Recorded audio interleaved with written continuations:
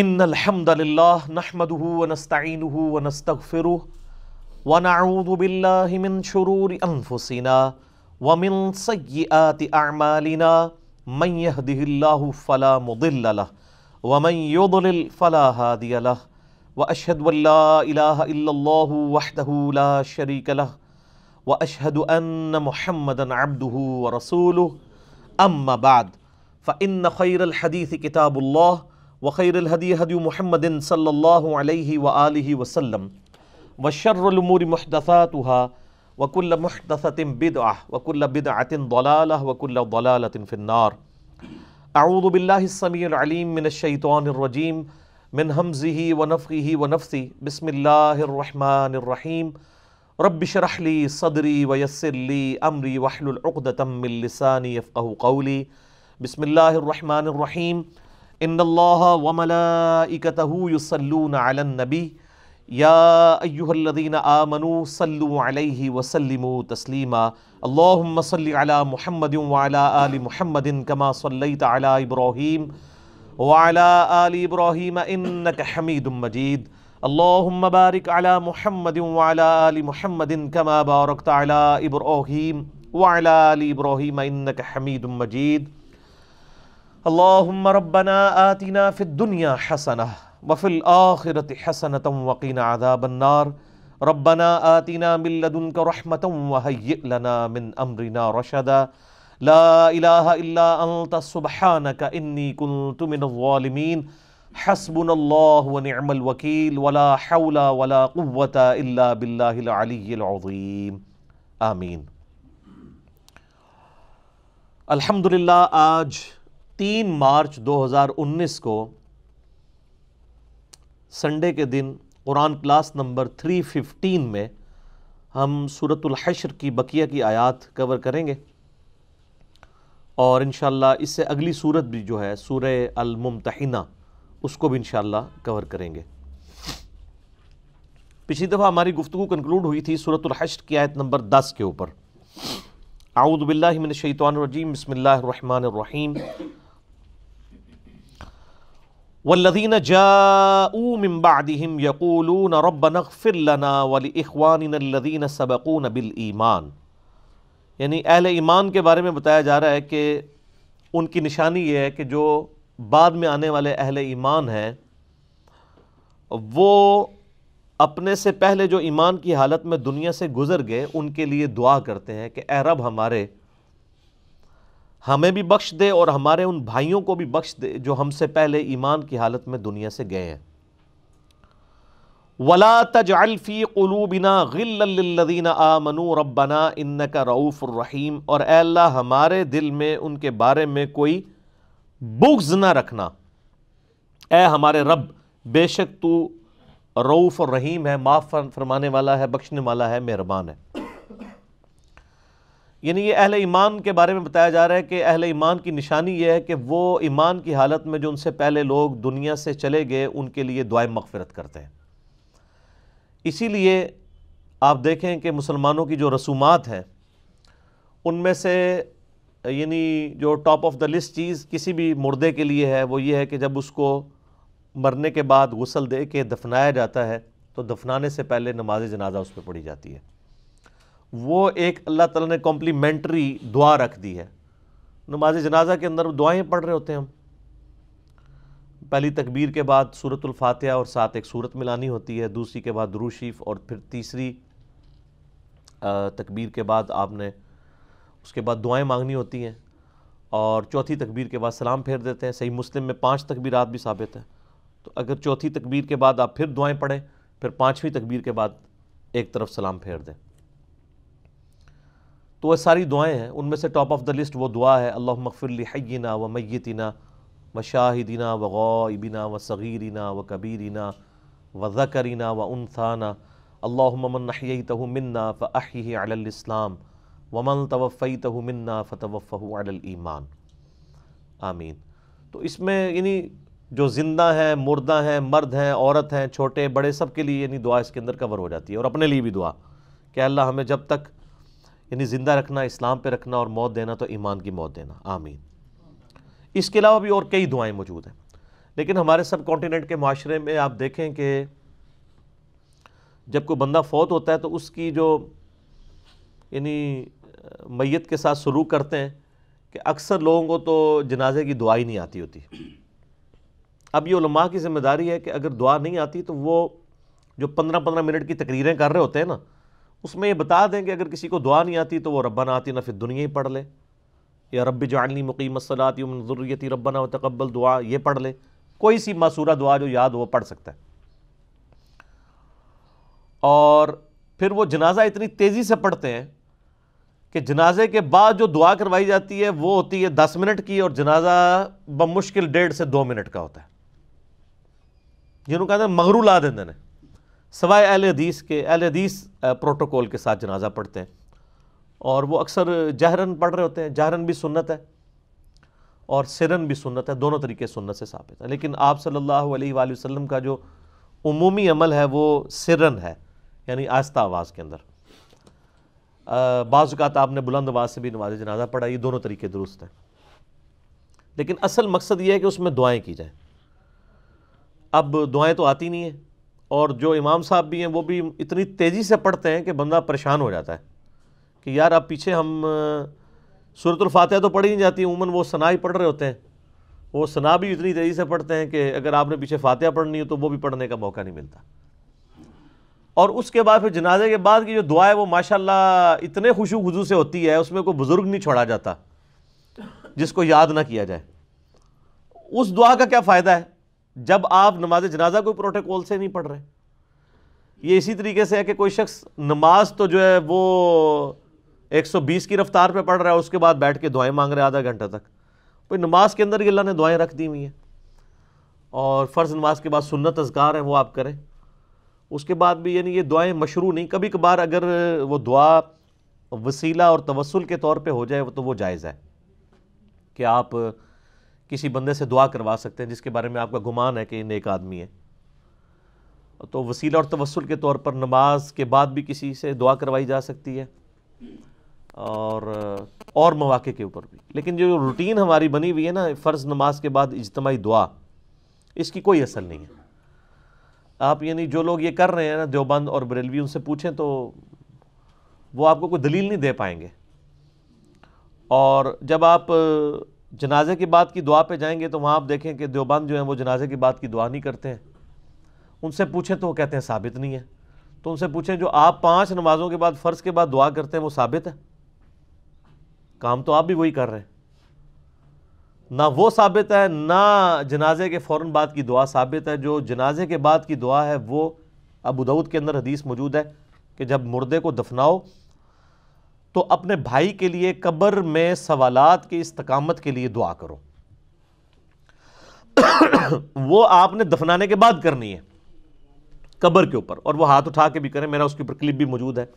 لاکھوں لوگوں نے دیکھا ہے قبر پر، ہاتھ اٹھا کر دعا کرنا۔ سارے دلائل میں نے ذکر کیے ہیں۔ صحیح مسلم سے بھی، ابو دعود سے بھی، باقی کتابوں سے۔ یہ تو فوراً بات ہے۔ اس کے بعد ہم ہر نماز کے اندر بھی دعا کرتے ہیں، ربنا آتنا فی الدنیا حسنہ وفی الاخرت حسنہ وقنا عذاب النار۔ یا اس کے علاوہ رب جعلنی مقیم الصلاح یا اور دعائیں ہیں۔ صحیح مسلم میں حدیث ہے کہ اللہ کے محبوب صلی اللہ علیہ وآلہ وسلم فرماتے ہیں کہ مردے کو کے مرنے کے بعد اس کے سارے اعمال منقطع ہو جاتے ہیں، سوائے تین اعمال کے۔ نمبر ایک، صدقہ جاریہ۔ یعنی اس نے اپنی کوئی زندگی میں صدقہ جاریہ کا کام کیا تھا، جو اس کے مرنے کے بعد بھی لوگ اس کے بینیفیشری ہیں۔ کسی نے کنواں کھدوا دیا، کسی نے مسجد میں لائٹنگ کروا دی۔ لائٹنگ یہ جلسوں والی نہیں، یہ والی لائٹ جس کی ضرورت ہے۔ یا مسجد میں کسی نے سب بچھوا دی ایئر کنڈیشن لگوا دیا، یا کسی غریب بچے کا خرچہ، اس طرح کی جو بھی چیزیں۔ دوسرا فرمایا کہ علم کی بات۔ جیسے امام بخاری، امام مسلم نے فوت ہوئے ہوئے دو سو سال ہونے والے ہیں، بارہ سو سال، دو سو چھپن ہجری میں فوت ہوئے امام بخاری، دو سو اکسٹھ میں امام مسلم۔ آلموسٹ بارہ سو سال ہونے کو آئے ہیں، لیکن ان کی تعلیمات سے ان کے جو علمی، ان کی جو کنٹریبیوشن تھی، آج تک لوگ فائدہ اٹھا رہے ہیں۔ آج بھی جب بخاری شریف پڑھی جائے گی، ان کو ثواب ملے گا۔ یہ ان کے اپنا اعمال ہے۔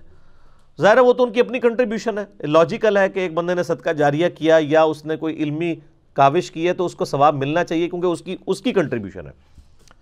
تیسری چیز اللہ کے محبوب صلی اللہ علیہ وآلہ وسلم کی اسی حدیث میں صحیح مسلم میں آتا ہے کہ تیسری چیز جو ہے وہ نیک اولاد ہے جو اس کے لیے دعا کرتی ہے۔ مرنے کے بعد ویسے تو دعا تو سب کی لگتی ہے لیکن نیک اولاد چونکہ اس کی انویسٹمنٹ ہے وہ صدقہ جاری ہے۔ نیک اولاد کے عمال کا آٹومیٹک ثواب ماں باپ کو مل جاتا ہے۔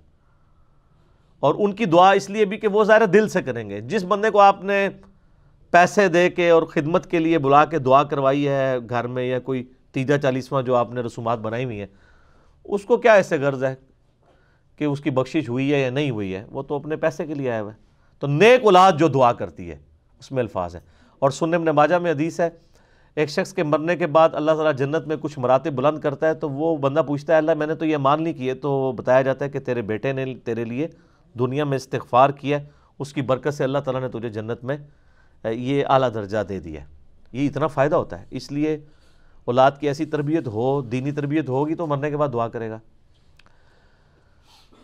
اسی طریقے سے میت کی وفات کے بعد اس کی طرف سے آپ جو صدقہ اور خیرات کرتے ہیں، اس کا ثواب بھی اسے ملتا ہے۔ وہ کوئی بھی کر سکتا ہے۔ وہ صحیح بخاری کے اندر حدیث موجود ہے۔ سعد ابن عبادہ کہتے ہیں، میں یعنی سفر پہ تھا اور پیچھے سے میری ماں فوت ہو گئی۔ اللہ کے نبی علیہ السلام، میں چاہتا ہوں کہ میں ان کی طرف سے کچھ صدقہ اور خیرات کروں، کیا ان کو نفع ملے گا؟ تو آپ نے فرمایا ملے گا۔ تو انہوں نے کہا، یا رسول اللہ، میں ایک پھر کنواں کھدواتا ہوں۔ اس کتاب، اس کنویں کا نام ہی پڑ گیا، ام سعد کا کنواں۔ ٹھیک ہے۔ اور آپ نے فرمایا، اس کا نفع بھی اسے ملے گا۔ سن نسائی کے اندر پوری ڈیٹیل موجود ہے۔ بعض لوگ کہتے ہیں کہ انہوں نے وصیت کی تھی، ایسا نہیں ہے۔ سن نسائی میں پوری ڈیٹیل ہے کہ جس سے ثابت ہوتا ہے کہ یہ ایکسکلوسیولی انہوں نے ہی خود ڈسین لیا تھا۔ تو ثواب ملے گا۔ اسی طریقے سے حج بدل ہے، وہ بھی تو آپ میت کا کرواتے ہیں نا۔ تو اس کا ثواب بھی اسے ملتا ہے۔ لیکن یہ جو آج کل یعنی ٹی سی ایس ثواب کرنا شروع کر دیا نا، اینی دفعہ کلمہ پڑھ کے، اتنی دفعہ قرآن پاک پڑھ کے بخش دیں۔ جو ہمارے دیوبند کے ہاں تو وہ دعا کے نام سے چل رہا ہے، بریلویوں کے ہاں تیجا چالیسواں کے نام سے چل رہا ہے۔ اور اہل حدیث بھی بیچارے دبک کے یہ کام وہ بھی کر رہے ہیں کسی اور نام کے ساتھ۔ اس کی کوئی اصل نہیں ہے۔ آپ کی تسلی ہونی چاہیے کہ آپ نے جنازہ پڑھا، قبر پہ دعا کی، اب ہر نماز میں آپ دعا کر رہے ہیں، چاہے زندہ ہے، چاہے مرگ مر گیا کوئی، آپ اس کے لیے دعا مفرت کر رہے ہیں، وہ کرتے رہیں۔ صدقہ اور خیرات کریں، ضرور کریں۔ لیکن آپ یعنی پیسے دے کے یعنی ہمارے جیلم میں تو یعنی بہت عرصہ پہلے تو تین سو روپے ریٹ تھا ایک قرآن کا، آج کل ہو سکتا ہے ذرا پیٹرول بھی مہنگا ہو گیا تو پانچ سو ہو گیا ہو۔ تو آپ یعنی اس حساب سے قرآن پڑھوا کے تو وہ بخشوا سکتے ہیں، لیکن اس کا کوئی فائدہ تو نہیں ہے۔ جس بندے نے پوری زندگی خود قرآن کھول کے پڑھا نہیں ہے، اس کے مرنے کے بعد آپ کتنے قرآن پڑھ کے اسے بخشیں گے اور کیا فائدہ ہوگا؟ انہیں یہ تو پڑھنے والوں کو بھی خود شرم آنی چاہیے۔ تو باقی رہا، دعا ظاہر ہے، جو بندہ مر گیا، اب دنیا میں تو نہیں آ سکتا۔ اب اس کے لیے زیادہ سے زیادہ یہی ہو سکتا ہے کہ اس کے لیے دعا کی جائے۔ تو وہ تو اس کا حق ہے، اور وہ اسی آیت کے تحت ہے صورت الحشر، آیت نمبر دس۔ رب نقف لنا والی اخوان الدین سبقون بالایمان تو وہ اہل ایمان کے لیے دعا کرتے ہیں۔ اللہ جو فوت ہو چکے ایمان کی حالت میں، ان کے ان کی مفرت کر۔ اور اس طریقے سے آپ جب کبھی بھی قبرستان جائیں، صحیح مسلم میں دعا موجود ہے۔ السلام علیکم اہل الدیار من المؤمنین والمسلمین۔ و انا ان شاء اللہ بکم للاحقون۔ نسأل اللہ لنا ولکم العافیہ۔ اے اہل ایمان، مومنین اور مومنات جو یہاں پر دفن ہو، ہم تم پر سلامتی بھیجتے ہیں۔ اور اس کے بعد کیا آیا کہ السلام علیکم اہل دیار من المؤمنین والمسلمین و انا ان شاء اللہ بکم للاحقون۔ اور انشاءاللہ ہم نے بھی مر کے تمہارے پاس ہی آنا ہے۔ ہم نے کون سا اس زندگی میں رہنا ہے؟ ہم اللہ کے حضور تمہارے لیے اور اپنے لیے عافیت کا سوال کرتے ہیں۔ تو یہ آپ دعا کریں۔ اور قبر پہ آپ ہاتھ اٹھا کے بھی دعا کر سکتے ہیں۔ صحیح مسلم میں اوپر تلے کئی حدیث ہیں کہ نبی علیہ السلام اکثر بقیہ غرکت رات کے وقت چلے جاتے تھے اور ہاتھ اٹھا کے ان کے لیے دعائیں مغفرت کرتے تھے۔ حتیٰ کہ ایک حدیث میں تو آتا ہے معائشہ کہتی ہیں، حضور میرے ساتھ لیٹے ہوئے تھے تو آپ نے گمان کیا میں سو گئی ہوں۔ صحیح مسلم میں حدیث ہے۔ تو چپکے سے آپ علیہ السلام اٹھے اور قبرستان چلے گئے اور کہتی ہیں، میں بھی پیچھے پیچھے بھاگتی ہوئی گئی کہ نبی علیہ السلام کہیں دوسری بیوی کے پاس نہ چلے گئے ہوں۔ تو میں نے جب دور سے دیکھا تو آپ علیہ السلام یوں ہاتھ اٹھا کے دعا کر رہے تھے۔ تین دفعہ آپ نے ہاتھ اٹھائے اور پھر نیچے کیے۔ اور تو کہتی ہیں کہ میں بھاگتی بھاگتی دوبارہ آئی، اپنے بسترے پہ لیٹ گئی تاکہ آپ کو یہ پتہ نہ چلے کہ میں نے جو ہے وہ آپ کی جاسوسی کی ہے۔ تو کہتی ہیں، لیکن میں ظاہر چونکہ بھاگتی بھی آئی تھی تو میرا پیٹ پھولا ہوا تھا، سانس پھولا ہوا تھا۔ نبی الاسلام واپس آئے اور آپ نے فرمایا کہ عائشہ، تم نے گمان کیا کہ اللہ اور اس کا رسول تمہارے ساتھ خیانت کریں گے، کہ یا رسول اللہ، میں نے تو یہ سمجھا آپ کسی اور بیوی کے پاس چلے گئے ہوں گے۔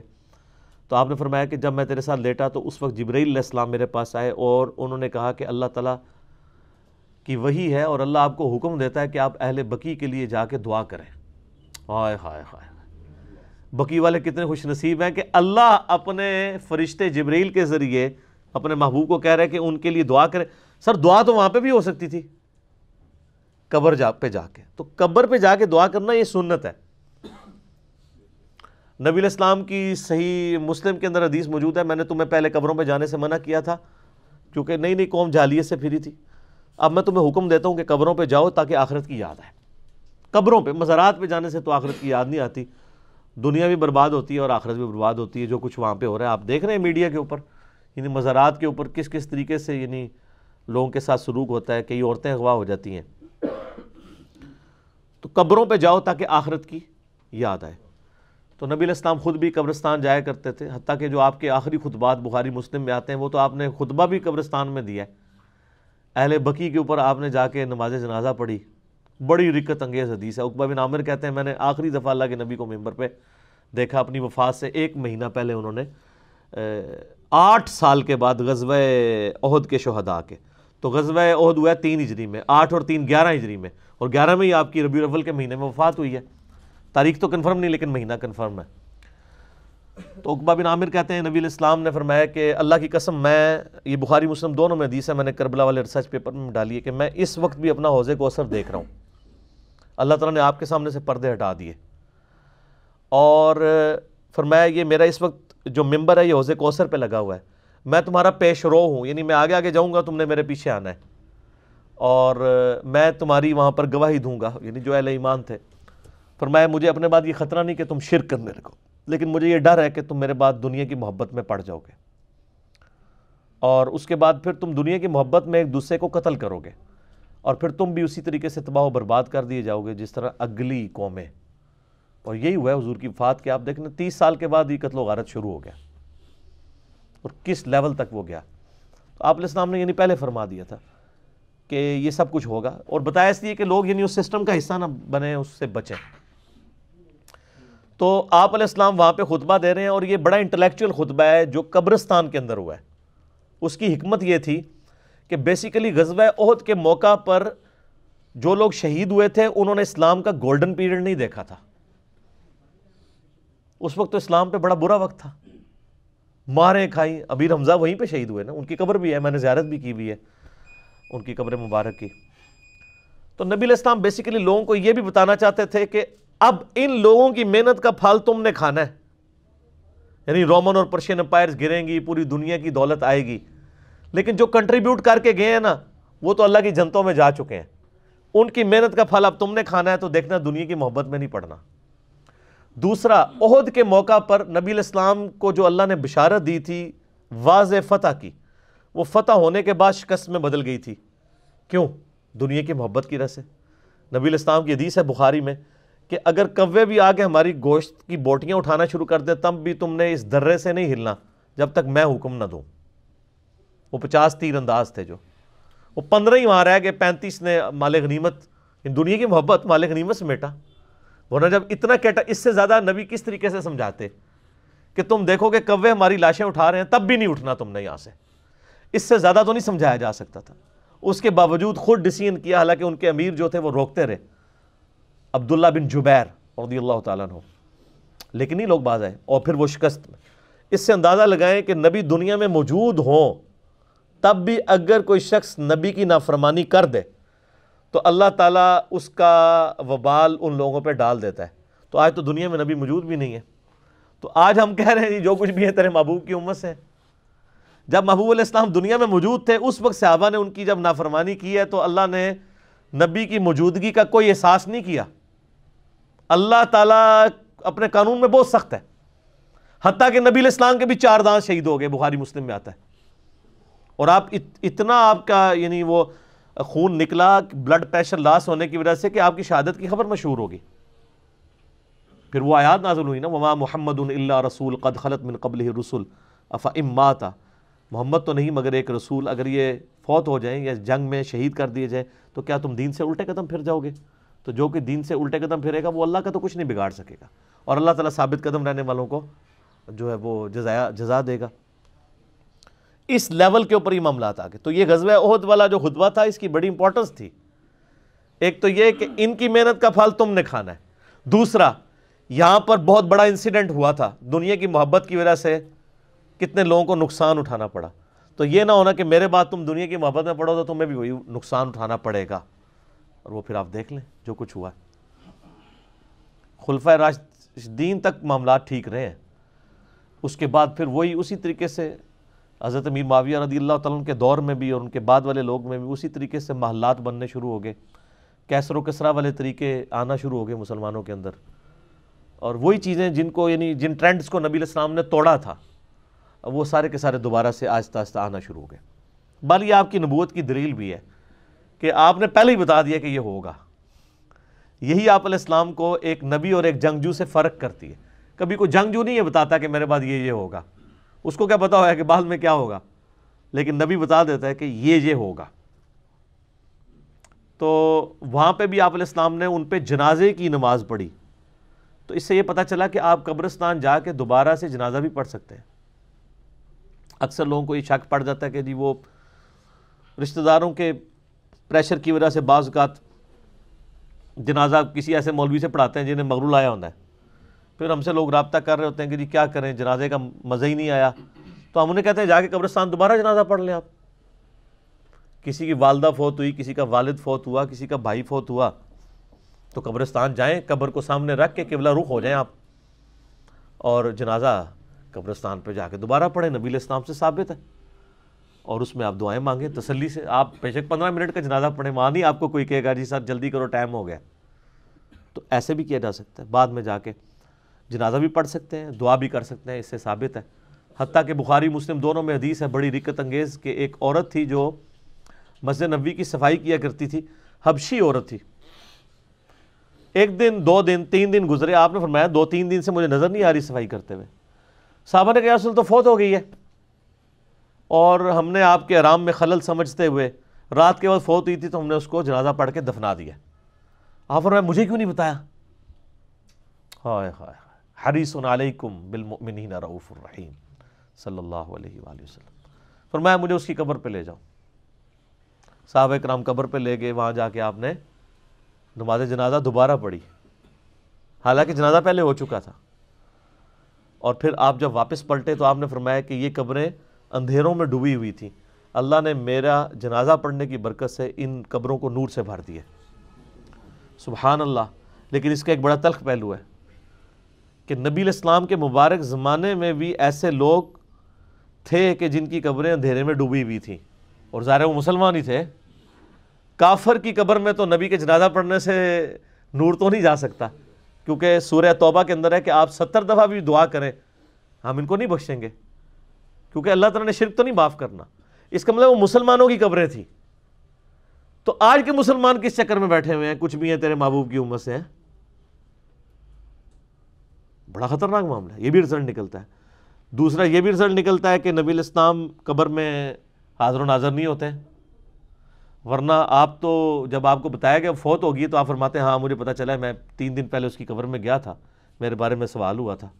تو آپ علیہ السلام کو تو نہیں پتا تھا۔ تو یہ من گھڑت عقیدے لوگوں نے بنائے ہوئے قبر میں سوال ہوتا ہے لیکن کوئی تصویر نہیں دکھائی جاتی، اس میں کوئی الفاظ ہی نہیں ایسے۔ اللہ رسول اور دین کے بارے میں پوچھا جاتا ہے۔ فرقے کے بارے میں نہیں پوچھا جاتا۔ شکر ہے۔ ٹھیک ہو گیا۔ یہ کتنی حیران کن بات ہے۔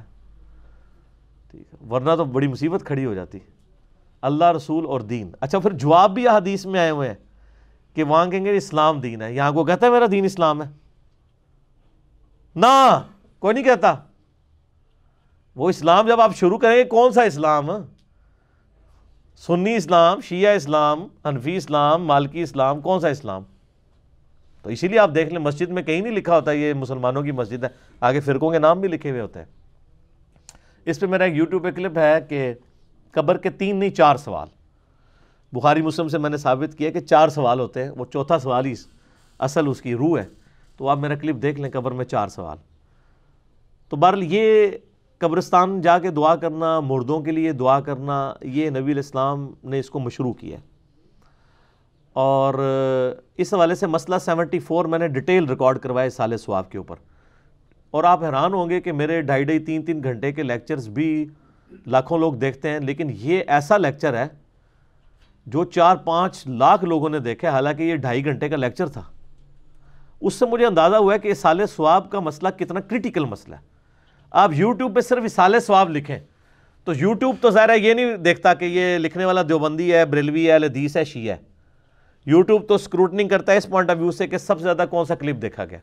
تو آپ کو ٹاپ پہ میرا وہ کلپ نظر آئے گا، مسئلہ سیونٹی فور اس میں میں نے سارے ان ایشوز کو ریزالو کیا ہے۔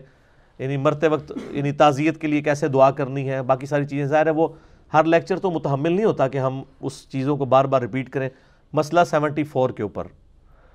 جو ہے نا، وہ آپ ایمفیسائز میں کرتا ہوں اس حوالے سے کہ وہ آپ ضرور دیکھیں تاکہ سال سواب کے کون کون سے ذریعے ہیں اور یہ سارے معاملات آپ کو کلیئر ہوں گے۔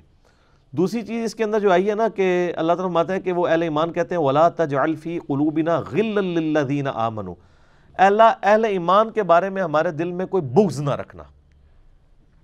یعنی جو اہل ایمان دنیا سے چلے گئے ہیں، ان کے بارے میں ہمارے لیے دل میں کوئی میل نہ آئے۔ یعنی یہ دعا سکھائی گئی ہے۔ بعض اوقات ہوتا ہے انسان کی بڑی یعنی قریبی رشتہ داری بھی ہوتی ہے، بعض اوقات لوگوں نے ایسی زیادتیاں کی ہوتی ہیں کہ انسان یعنی چاہتے ہوئے بھی ان چیزوں کو بھلا نہیں سکتا۔ تو اس لیے یہ دعا تعلیم کر دی گئی ہے کہ چلو جو بندہ دنیا سے ایک غلط کام کر کے چلا گیا، آپ اس کے لیے دعا کریں۔ اور اپنے لیے دعا کریں کہ اللہ ہمارے دل میں ان کے لیے یعنی کوئی میل ایسا نہ ہے اچھا اس کی بعض اوقات لوگ پلی بھی لیتے ہیں اور وہ یہ کہتے ہیں کہ جی جو بزرگ فوت ہو چکے ہیں، اگر انہوں نے کوئی زیادتیاں کی ہیں دین کے ساتھ، تو قرآن تو ہمیں کہہ رہا ہے کہ ان کے بارے میں دل میں کوئی غل نہ رکھے، تو ہمیں چاہیے ان کی غلطیاں ہی ہائی لائٹ نہ کرے پہلی دو نمبری تو ان لوگوں کی یہ ہوتی ہے کہ یہ صرف اپنے فرقے کے بزرگوں کے بارے میں یہ بات کر رہے ہوتے ہیں۔ اگر یہی بات ہے، تو بریلویوں نے حسام الرمین چھاپنا بند کیوں نہیں کر دی ہے آج تک چھاپ رہی ہے نا؟ جس میں یعنی چار علماء دیوبند پہ کفر کے فتوے لگائے تھے حمزہ بریلوی صاحب نے۔ المشہور حسام الرمین تو نہیں بند کیے۔ وہ کہیں گے، وہ تو ہے ہی گستاخ تھے نا، ان کو کہنا چاہیے، ہماروں کو کچھ نہ کہیں۔ اس کے مقابلے پہ المحنت المفنت لکھی گئی ہے۔ سر، وہ بھی سو سال سے زیادہ ہو گیا چھپ رہی ہے۔ جس میں احمد بریلوی صاحب ان کی جماعت کو پورا شیطانی لشکر ڈکلیئر کیا گیا۔ تو ان کو نہیں پتا کہ احمد بریلوی تو انیس سو اکیس میں فوت ہوئے تھے۔ تقریباً سو سال ہونے والے ہیں ان کو فوت ہوئے پہ یہ دو ہزار انیس چل رہا ہے۔ تو یار چھوڑ دو۔ اگر یعنی آپ کی وہی ڈاکٹرائن مانے، وہ کہیں گے نہیں جی سر جنہوں نے دین کے ساتھ کھلواڑ کیا ہے، ان کو معافی نہیں ہے۔ تو سر یہی ہماری ڈاکٹرائن ہے کہ جنہوں نے دین کا نقصان کیا ہے۔ یہ جو غل والا تعلق ہے نا، اس کا تعلق ہے کہ آپ کا کوئی ذاتی معاملہ ہے کسی کے ساتھ۔ جس نے دین کا جنازہ نکالا ہوا ہے، وہ تو اللہ اس کے رسول کا دشمن ہے۔ اس کے بارے میں غل کا رکھنا ایمان ہے۔ الحب للہ والبغض للہ۔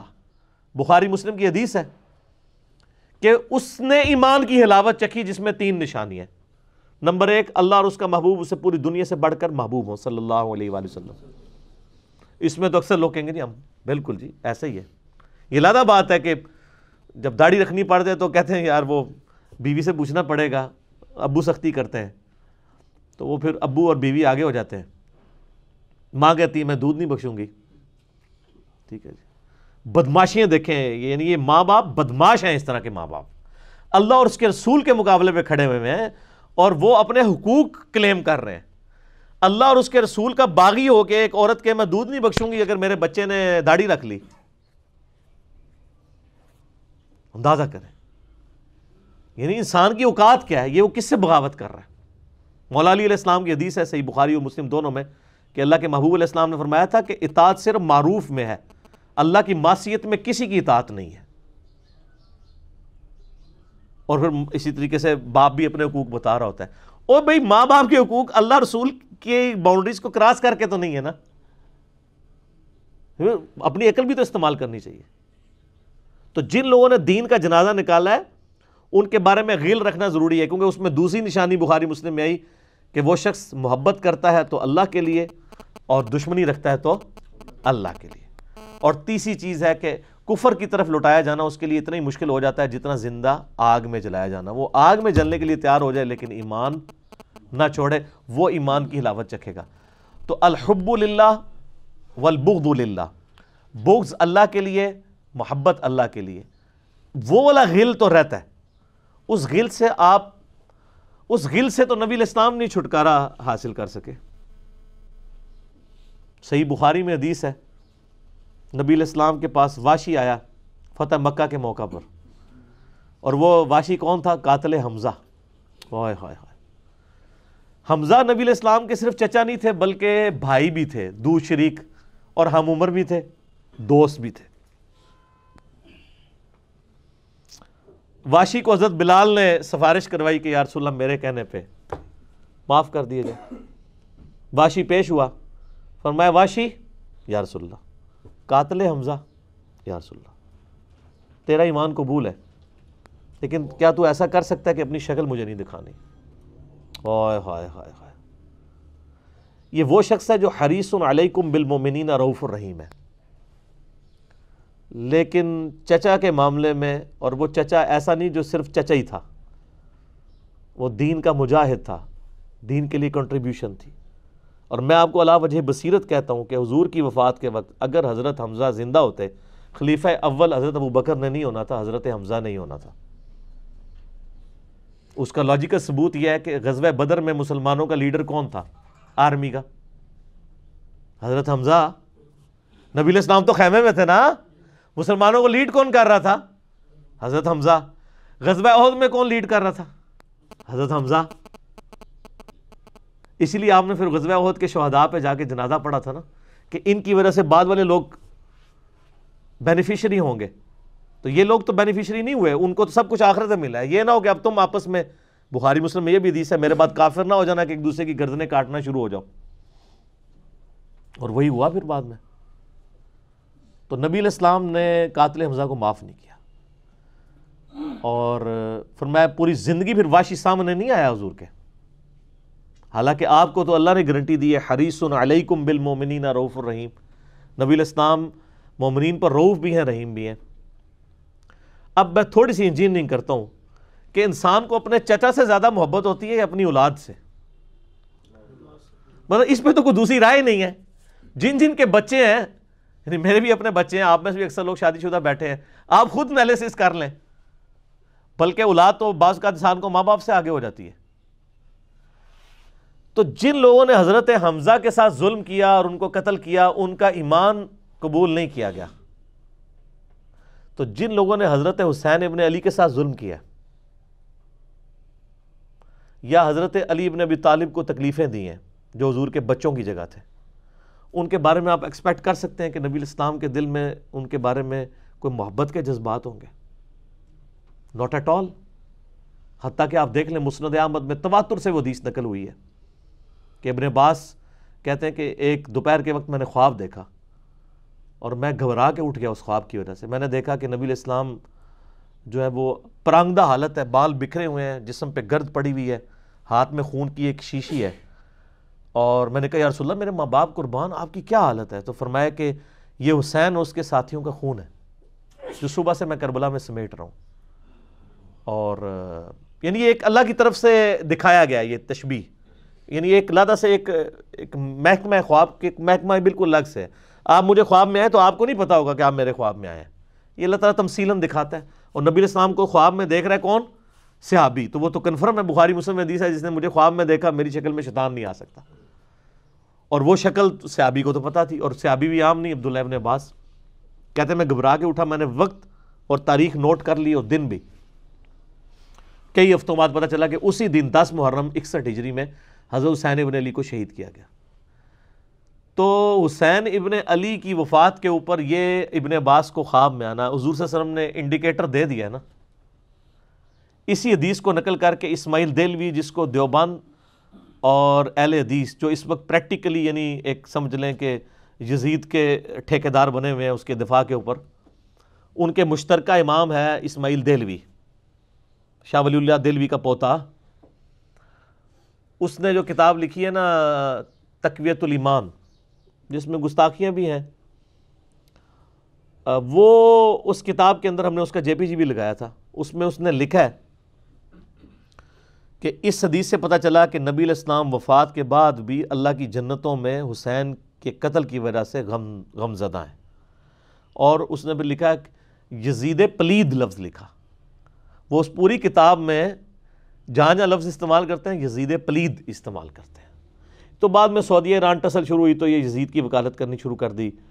اہل حدیث تو خیر اس وقت ناسبیت اور یزیدیت کا جھنڈا اٹھائے ہوئے ہیں۔ دیوبند میں کم لوگ ہیں۔ ایز کمپیئر ٹو اہل حدیث اور بریلیوں میں تو بہت ہی کم ہے۔ تو یہ میں آپ کو صرف ایک کمپیریزن بتا رہا ہوں کہ انسان کو اپنی اولاد سے جو محبت ہوتی ہے، وہ تو آپ سوچ نہیں سکتے۔ ترمزی میں اور مسند احمد مدیث نبی الاسلام نے حضرت حسین کو اٹھایا ہوا ہے اور آپ فرماتے ہیں، اللہ یہ میرے بیٹوں میں سے ایک بیٹا ہے۔ اللہ، اس سے محبت کر جو اس سے محبت کرے، اس سے دشمنی رکھ جو اس سے دشمنی رکھ ہم یہ پوچھتے ہیں کہ حسین سے دشمنی کس نے رکھی ہوئی ہے؟ ذرا پوائنٹ آؤٹ کریں نا۔ کیا یہ تھریٹیکل بات ہے؟ تھی نا دشمنی۔ آج تک ہے، اس زمانے میں بھی تھی۔ تو وہ ان لوگوں کو پھر ان کے ساتھ کیا معاملات ہوں گے؟ باقی واقعہ کربلا والا ریسرچ پیپر فائیو بی پڑھ لیں تو آپ کو معاملات کلیئر ہو جائیں گے۔ تو یہ غل کے اوپر میں نے بات کی اور اس کے اوپر بعض لوگوں جو ہیں وہ اس حدیث کے اندر تحریب بھی بعض لوگوں نے کی ہے۔ بعض لوگوں نے جان بوجھ کے کی ہے، بعض لوگوں نے انجانے کے اندر کیا ہے۔ یہ روایت المستر الحاکم میں بھی موجود ہے۔ اور صحیح صنعت کے ساتھ اور المصنف ابن ابی شہبہ کے اندر بھی موجود ہے کہ مولا علی علیہ السلام جو ہیں وہ، ان کے پاس حضرت طلحہ کا بیٹا آیا، عثمان ابن طلحہ۔ تو آپ اس کو جب ملتے ہوئے آپ نے نا سورہ حجر کی وہ آیت پڑھی کہ جو اہل ایمان کے دلوں میں ایک دوسرے کے بارے میں غل آ جائے گا نا، قیامت والے دن اللہ تعالیٰ ان کے دل سے وہ غل دور کر دے گا۔ پھر وہ جنت میں آمنے سامنے بیٹھے ہوئے ہوں گے تختوں کے اوپر، ٹیک لگائے ہوئے تکیوں کے اوپر۔ تو انہوں نے کہا کہ میں اللہ سے امید کرتا ہوں کہ یہ آیت میرے طلحہ اور زبیر اور عثمان ابن عفان، ان تین بندے اور چوتھا میں، یہ آیت ہمارے بارے میں ہے کہ اللہ تعالیٰ ہمارے دلوں میں جو ایک دوسرے کے لیے میل آ گیا، قیامت والے دن وہ دور کر دے گا۔ اور ہم ایک دوسرے سے راضی ہو جائیں گے۔ ظاہر ہے مطلب وہ تکلیفیں تو پہنچی تھی نا۔ حضرت علی کو مطلب کئی لوگوں سے تکلیف پہنچی۔ بل آپ نے ان کو ایک قید کلین چٹ دے دی کہ میں اللہ سے امید کرتا ہوں کہ ان لوگوں کے بارے میں یہ آیات ہیں کہ اللہ تعالیٰ ہمارے دلوں میں ایک دوسرے کی نفرت ختم کر دے گا۔ جو اگر دنیاوی وجہ سے، دنیاوی طور پر کسی دینی وجہ سے آئی ہے۔ تو یہ غل کا لفظ وہاں پہ بھی استعمال ہوا ہے۔ اب ڈاکٹر اسرار صاحب رحمہ اللہ تعالیٰ، چونکہ ان کی حدیث کی فیلڈ نہیں تھی، انہوں نے یہ جب سورہ ہجر کی آیات آئیں، اس پہ میرا مسئلہ نمبر 116 سی بھی ریکارڈڈ موجود ہے۔ انہوں نے نا اس میں حضرت معاویہ کا نام بھی لے دیا کہ میں اللہ سے امید کرتا ہوں یہ میرے اور معاویہ کے بارے میں ہوگا۔ نا! وہ نام لیے ہی نہیں ہے، آپ خود سے نہ داخل کریں۔ حضرت معاویہ کو حضرت علی نے نہیں معاف کیا، پوری زندگی معاف نہیں کیا، کیونکہ ان کی وجہ سے خلافت کا نظام ٹوٹا تھا۔ حضرت طلحہ تو میدان جنگ سے چھوڑ کے چلے گئے تھے۔ جب عمار ابن یاسر کو دیکھا کہ وہ سامنے ہیں، تو انہوں نے کہا عمار کو تو باغی جماعت قتل کرے گی، وہ چھوڑ کے چلے گئے۔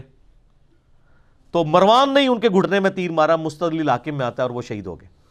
حضرت زبیر حضرت زبیر وہ صحابی ہیں یعنی جو نبی الاسلام کے بہادر ترین اصحاب میں سے۔ بارہ بندے غزبہ عہد میں حضور کے ساتھ رہ گئے تھے، سات سو میں سے۔ غزبہ عہد کے اندر۔ ان میں سے ایک حضرت زبیر بھی تھے۔ اور یہ تلوار کمال کی چلاتے تھے۔ اکیلے میدان جنگ میں آگے چلے جاتے تھے۔ بخاری میں آتا ہے کہ ان کا بیٹا عبداللہ ابن زبیر کہتا ہے کہ میرے باپ کے دو شانوں کے درمیان اتنا بڑا زخم تھا جو ہیل اپ ہو گیا تھا، لیکن پھر بھی گڑا پڑا ہوا تھا۔ میں پورا ہاتھ اس میں داخل کر لیتا تھا۔ اور وہ زخم ان کو عہد کے موقع پہ لگا تھا۔ ٹھیک ہے؟ اور پھر جنگ اسی حدیث میں بخاری کے آتا ہے کہ جنگ یرموک کے موقع پر لوگ یعنی لیڈر کے اوپر چل رہے ہوتے ہیں، تو حضرت زبیر بھی ایک اسکواڈ کو لیڈ کر رہے تھے۔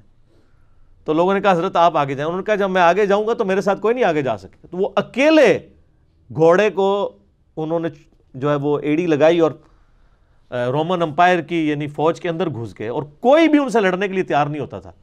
اتنی بہادری تھی ان کے اندر۔ لیکن جنگ جمل میں حضرت علی کے مقابلے پہ آ گئے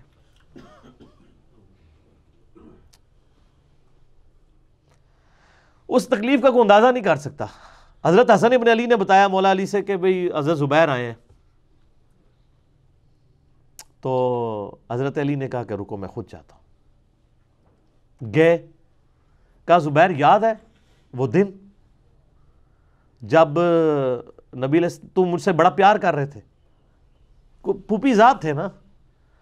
نبی علیہ السلام کی پوپی کے بیٹے ہیں حضرت زبیر بن عوام رضی اللہ تعالیٰ عنہ۔ تو حضور نے تم سے ایک بات کہی تھی کہ تم علی سے اتنی محبت کرتے ہو، ایک دن آئے گا کہ تم تلوار لے کے علی کے خلاف کھڑے ہو جاؤ گے۔ تو تم نے کیا کہا تھا؟ کہ یا رسول اللہ، میں علی کے خلاف کھڑا ہوں گا۔ فرمایا ہاں تم اس وقت ظالم ہو گئے۔ تو حضرت زبیر جو ہیں وہ اس پہ غشی تاری ہو گئی۔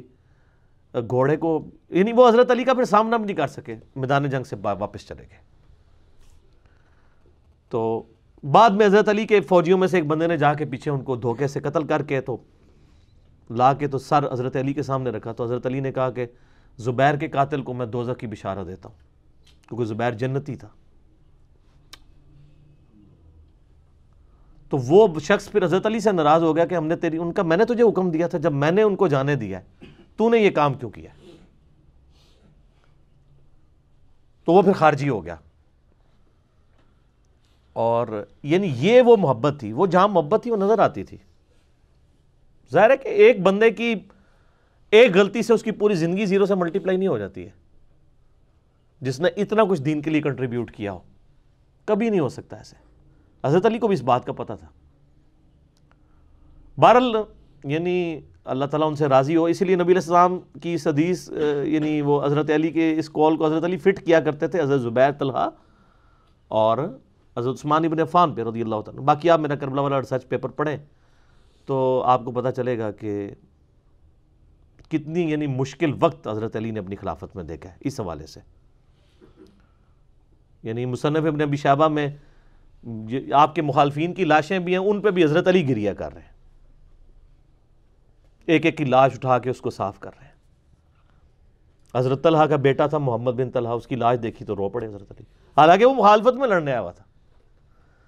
پھر حضرت حسن سے کہا، کاش میں جنگ جمل سے بیس سال پہلے ہی مر گیا ہوتا، میں یہ دن نہ دیکھتا۔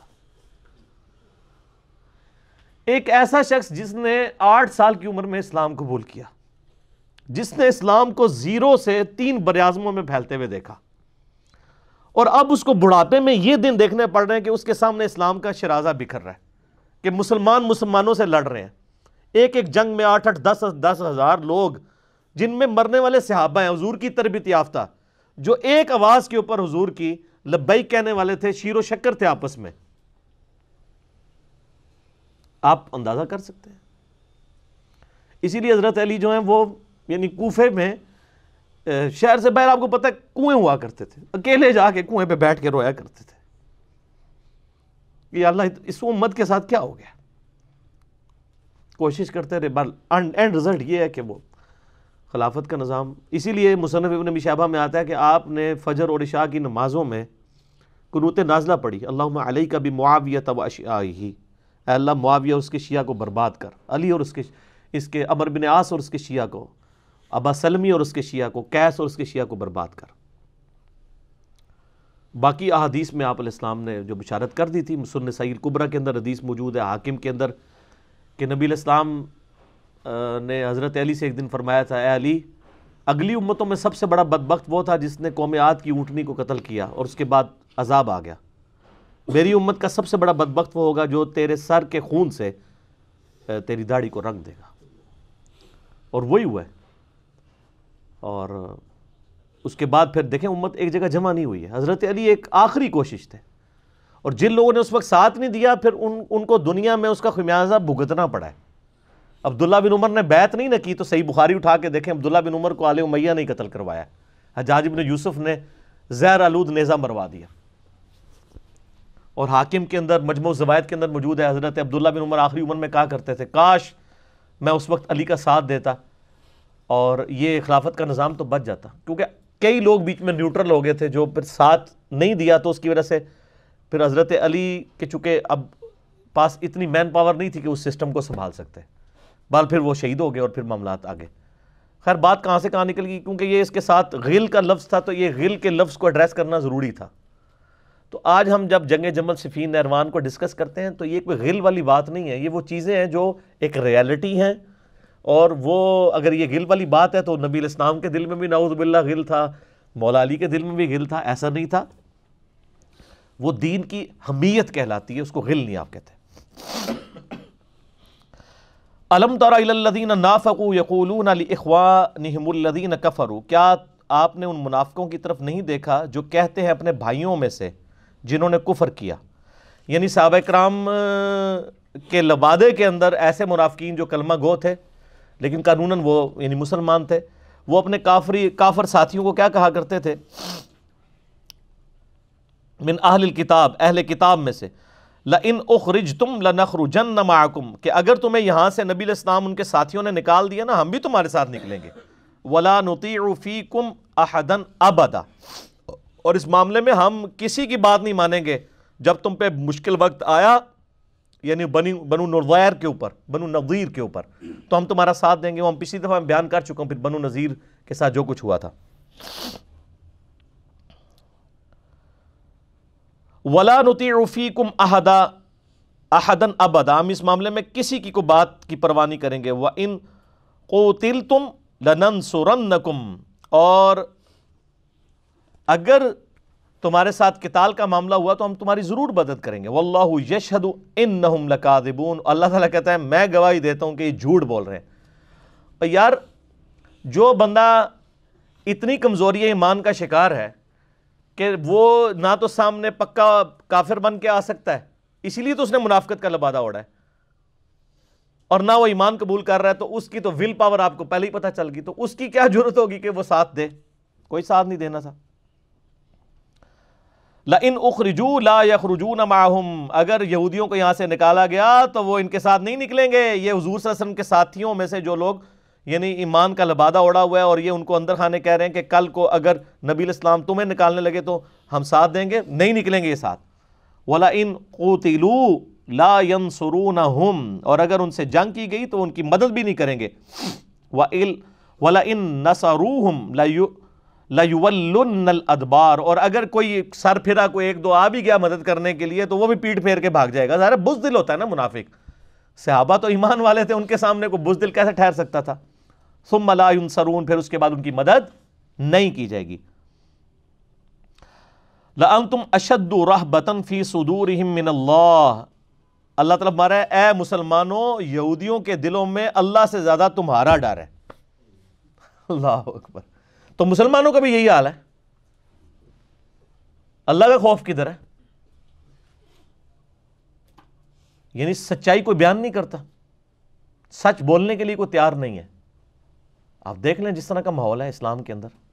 یعنی فرقوں کے جو علماء ہیں، وہ اگر جھوٹ بولتے ہیں نا، ممبر کے اوپر کوئی کہانی کروا کے چلے جاتے ہیں، تو لوگ ہم سے رابطہ کر رہے ہوتے ہیں جی وہ جمعہ پڑھنے گئے تھے تو یہ بیان کے صحیح ہے، غلط ہے۔ تو میں ان کو کہتا ہوں کہ جس نے بیان کیا، اس سے پوچھو نہیں پھر تو پتا ہے نا۔ اور دل میں خواہش یہ رکھتے ہیں کہ چینج بھی آئے۔ سر، چینج کے لیے ہر بندے کو علم بلند کرنا پڑے گا۔ کسی ایک بندے کا کام نہیں ہے۔ اگر ہر بندہ مسلط کا شکار ہو جائے گا، تو پھر یہ دین کا کام کس نے کرنا ہے؟ کسی کو تو بارش کا پہلا قطرہ بننا ہے نا سر۔ تو یا پھر آپ سمجھ لیں کہ ہمارا ایمان پھر کس لیول کے اوپر ہے۔ کسی کو تو سامنے آنا چاہیے۔ اور اس سے کوئی آپ کو کچا تو نہیں کھا جائے گا یار۔ آج تو ہم کہہ رہے ہوتے ہیں کہ کاش میں تیرے ہوتے جنم لیا ہوتا، تو میں نبی الاسلام کے قدموں سے لپٹ جاتا، یہ کر جاتا، وہ جاتا۔ وہ چھڑ دو۔ نہ! پرانیاں گلہ نے۔ آج تو معاشرے کے ڈر کی وجہ سے سنت کے مطابق نماز پڑھنے کے لیے تیار نہیں ہے۔ تو نے کیا کرنا تھا اس زمانے میں؟ پیدا ہو کے۔ معاشرے کی ڈر کی وجہ سے داڑھی رکھنے کے لیے تیار نہیں ہے۔ تو تو نے اس وقت کیا کر لینا تھا؟ وہ صحابہ کرام کی پاکیزہ روحیں تھیں۔ اللہ نے ان کو چنا تھا۔ سر، ہم تو سوچ بھی نہیں سکتے جس طرح ان کو آزمایا گیا۔ ہر جنگ میں جاتے تھے بی بچوں سے آخری ملاقات کر کے جاتے تھے۔ آج والی جنگیں نہیں تھیں۔ یا تو سامنے والے نے مر جانا یا جو لڑ رہا ہے اس نے مر جانا۔ بالکل ون زیرو رزلٹ ہے، درمیان والی بات ہی کوئی نہیں تھی۔ اور میں اکثر سوچتا ہوں کہ یار، جن لوگوں نے اس وقت قربانیاں دی ہیں، آپ ذرا امیجن کریں کہ جنگ یرموک اور قادسیہ لڑنے کے لیے جو مدینہ شریف سے، عرب سے لوگ گئے ہیں، رومن امپائر میں اور پرشین امپائر میں، دو دو، ڈیڑھ ڈیڑھ مہینے کے پیدل سفر کر کے۔ کوئی فون نہیں، کوئی رابطہ نہیں پیچھے۔ اور یہ بھی نہیں پتا کہ زندہ آنا ہے، بچ کے کہ نہیں۔ ساڑھے آٹھ ہزار مسلمان صرف قادسیہ میں شہید ہوئے ہیں۔ یار، ان کی بیویاں نہیں تھیں، ان کے بچے نہیں تھے۔ آپ امیجن نہیں کر سکتے۔ آج نام لینا بڑا آسان ہے۔ صحابہ کے نام کے نعرے لگانا آسان ہے۔ ان کی قربانیاں انبلیویبل اس زمانے میں بھی اتنی مشکل تھی۔ صحیح مسلم میں حدیث ہے سر، غزوہ خندق کے چیپٹر میں۔ اسی طریقے سے کچھ لوگ حضرت معاذ ابن جبل کے پاس آئے۔ حضرت عزیفہ ابن یمان کے پاس، رازدار رسول۔ یہ صحیح مسلم ہے سر، کوئی سٹوری نہیں ہے۔ تو کہنے لگے جی کتنے آپ خوش نصیب ہیں، حضور کا ساتھ آپ کو نصیب ہوا۔ کاش ہم بھی اس زمانے میں ہوتے، تو قربانیاں دیتے۔ وہ تابعین تھے نا۔ حضرت صاحبہ نے کہا، یہ باتیں کرنا آسان ہے، میں تمہیں صرف ایک واقعہ بتاتا ہوں۔ ایک واقعہ، کہ خندق کا موقع تھا، سخت سردیوں کی رات تھی۔ نبی الاسلام نے اناؤنسمنٹ کی کہ کون ہے جو اللہ اور اس کے رسول کے لیے قربانی کرے اور جا کے کافروں کی جاسوسی کرے کہ وہ اس وقت کیا کر رہے ہیں، ان کی مین پاور کتنی ہے۔ تو کہتے ہیں، ہم میں سے کوئی بندہ نہیں کھڑا ہوا۔ اس لیے کہ جب تصور آتا تھا نا، اس ٹھنڈ میں باہر جانا ہے تو سردیوں کی رات میں کون جا کے اتنی تکلیف کاٹے؟ اور پھر سردی بھی ریگستان کی، عرب کی۔ نبی الاسلام نے دوسری دفعہ اناؤنسمنٹ کی کہ کون ہے جو اللہ کے نبی کا پڑوس جنت میں حاصل کرے اور جا کے جاسوسی کر لے۔ آج تو آپ کہتے ہیں، سر، مجھے پڑوس چاہیے۔ کوئی بھی نہیں اٹھا۔ تیسری دفعہ کوئی نہیں اٹھا۔ چوتھی دفعہ نبی الاسلام نے فرمایا ازیفہ ازیفہ کہتے لو جی کہتے میرے دل میں غم مارے گئے۔ اونٹتے جانا ہی پوے گا۔ کیونکہ آپ تو حکم آ گیا نا۔ پہلے تو آپشن تھی نا کہ ٹھیک ہے جی والنٹیئرلی کوئی اٹھ جائے، رضا کرانا طور پہ۔ میں نے کہا، یا رسول اللہ، جاؤ۔ ٹھیک ہے یا رسول اللہ۔ انکار کی انکار کر کے کافر ہونا تھا۔ کہتا ہے، میں اٹھا۔ تو مجھے یوں اٹھتے ہی لگا کہ میں کسی گرم حمام میں داخل ہو گیا ہوں۔ اللہ نے ان کے گرد ایک ایسا یعنی گھیرا کر دیا اور کہتے ہیں، اس گرم حمام میں میں رہا، میں پوری جاسوسی کر کے آیا۔ اور حتیٰ کہ کہتے ہیں، میں نے ابو سفیان کو دیکھا، وہ اپنے تیر تیز کر رہا تھا۔ رات کے وقت بیٹھا اور وہ میرے نشانے کے اوپر تھا۔ میں چاہتا اسے مار بھی سکتا تھا، پھر مجھے خیال آیا کہ اللہ کے نبی ناراض ہو جائیں گے۔ یعنی آپ دیکھیں، جنگ کے اندر بھی کتنا ڈسپلن ہے۔ تو میں اجازت کے بغیر یہ حرکت نہ کروں، بس جتنا کام کا ہے میں اتنا ہی کروں۔ کام کیا، واپس آیا، انہی کپڑوں میں گئے۔ کوئی ٹھنڈ نہیں۔ کہتے ہیں واپس آ کے بیٹھا تو مجھے اتنی شدید ٹھنڈ لگنی شروع ہو گئی۔ نبی الاسلام نے اپنی مبارک چادر مجھے اڑا دی۔ اب یہ جو ٹیسٹ صرف ایک جرت کی دیر تھی نا، تو اللہ نے مدد کر دی۔ وہ بھی آئے مائیں شائیں کرتے تو اب ان کو تو پتہ ہی نہیں تھا، باقیوں کو پتہ بھی نہیں ہے کہ وہ اللہ کے نبی نے ان کو کس پروٹیکشن میں، یہ نبی الاسلام کا زندہ موجزہ ہے، صحیح مسلم میں غزوہ احزاب، غزوہ خندق والے چیپٹر کے اندر۔ اور دیکھیں اتنی بڑی لالچ کے جنت میں نبی کا پڑوس پھر بھی نہیں اٹھا جا رہا۔ سر، یہ ہو جاتا ہے۔ یہ کہنا آسان ہوتا ہے۔ مشکل وقت آپ کی زندگی میں بھی جب آتا ہے نا، تو کتنے لوگ ہیں جو ڈیسائیڈ کر پاتے ہیں؟ نہیں کر، کتنا کتنا عرصہ گزار دیتے ہیں۔ ہمارے پاس یقین کریں، علماء آتے ہیں، ایسے ایسے کہتے ہیں جی پتہ ہے سب کچھ فراڈ چل رہا ہے۔ لیکن کیا کریں سسٹم سے بغاوت نہیں کر سکتے۔ اسی معاشرے میں رہنا ہے۔ تو سر یہ بات کرنا پھر آسان ہے۔ صحابہ کی نسبت یعنی ہمیں تو اس کا اشر شیر بھی حاصل ہو جائے تو کس لیول پہ ہم ہوں؟ یہ باتیں کرنا آسان ہے کہ تیرے ہوتے جنم لیا ہوتا۔ تو اللہ تعالیٰ ہے، کافرو، یہ اے مسلمانوں، یہ کافر جو ہے نا، تم اللہ سے زیادہ تم سے ڈرتے ہیں۔ کیونکہ اللہ تو سامنے نظر نہیں آ رہا، تمہاری تلواریں تو ان کو نظر آ رہی ہیں نا۔ انسان فزیکل چیز سے زیادہ ڈرتا ہے۔ ذالک بانہم قوم لا یفقہون، یہ اس لیے کہ یہ انتہائی بے وقوف لوگ ہیں۔ یعنی ان کو ذرا سی بھی عقل ہوتی تو یہ تم سے ڈر رہے ہیں اور اس اللہ سے نہیں ڈر رہے۔ جس نے تمہیں ان کے اوپر مسلط کیا ہوا ہے، اس کی پناہ میں نہیں آتے۔ لا یقاتلونکم جمیعا، یہ بڑے بزدل ہیں، یہ کبھی اکٹھے ہو کے تم سے لڑیں گے بھی نہیں۔ اللہ فی قرم محسنہ سوائے اس کے کہ وہ جو ہے وہ کسی یعنی حصار کے اندر کسی قلعے میں چھپ کے کوئی گریلا وار لڑ لیں، او من وراء جدر، یا کسی دیوار کی آڑ میں۔ یعنی یہ سامنے ون ٹو ون مقابلہ کرنے کے لیے نہیں آئیں گے، چھپ چھپا کے تیس ہی چلائیں گے۔ اور وہ بھی نہیں ہوا، آپ کو بتایا نا کہ وہ تو بنو نظیر ویسے ہی پھر ان کو انہوں نے شکست تسلیم کر لی جب مسلمانوں نے گھراؤ کیا ان کے قلعے کا۔ بَأْسُهُمْ بَيْنَهُمْ شدید، ان کا آپس کا اختلاف اتنا شدید ہے۔ تَحْسَبُهُمْ جَمِيعٌ وَقُلُوبُهُمْ شَتَّى تم انہیں متحد نہ سمجھنا، ان کے دل تو منتشر ہے ظاہر جب ایمان ہی نہیں ہے تو پھر آپس میں کس طرح انسان جو ہے وہ ایک کاز کے اوپر جمع ہو سکتا ہے۔ ذَلِكَ بِأَنَّهُمْ قَوْمُ اللَّا يَعْقِلُونَ یہ اس لیے کہ بے عقل لوگ ہیں۔ كَمَثَلِ الَّذِينَ مِن قَبْلِهِمْ یہ ان لوگوں کی مانند ہے جو ان سے پہلے بھی گزرے۔ قریباً ذاقوا وبال امرہم، جنہوں نے اپنے کرتوتوں کا مزہ چکھ لیا یعنی بنو قینکا بنو قینکا نے بھی پہلے غداری کی تھی، جو نبی علیہ السلام کو شہید کرنے کی کوشش کی تھی۔ وَلَهُمْ عَذَابٌ علیم ان کے لیے ہے دردناک عذاب کا مثل الشیطان اب یہ بڑی بہترین اگزامپل آ رہی ہے۔ اللہ تعالیٰ ان کی مثال شیطان کی سی ہے۔ اذ قال للانسان کہ وہ انسان سے اس کو وسوسہ دلاتے ہوئے کہتا ہے للانسان نکفر کہ کفر کر لے۔ فلما کفرا جب وہ کفر کر دیتا ہے، اللہ کی ناشکری کرتا ہے۔ قال انی بری ام من کا تو وہ کہتا ہے، میں تو تجھ سے بری ہوں انی خوف اللہ رب العالمین میں تو خود ڈرتا ہوں اللہ سے۔ یہ ہر سال شخص کے ساتھ ایک انسان اٹیچ ہے۔ سورہ قاف میں میں نے ڈیٹیل سے بتایا تھا نا کہ قیامت والے دن انسان کا جو جس کو ہمزاد بھی لوگ کہتے ہیں، ایک شیطان بھی، ایک کرین بھی جو اٹیچ ہے اس کے ساتھ، ان دونوں کو لایا جائے گا۔ تو شیطان وہ جن انسان کے ساتھ جو اٹیچ ہے، وہ کہے گا، یا اللہ، یہ تیرا مجرم حاضر ہے۔ تو اللہ فرمائے گا، دونوں کو دوزک میں پھینکو، اس جن کو بھی اور اس انسان کو بھی۔ باللہ تعالیٰ۔ تو وہ شیطان ایک برائی کرا لیتا ہے، اس کے بعد وہ کہتا ہے، میں تو بری ہوں، اپنے عمال کا حساب کتاب خود دے گا۔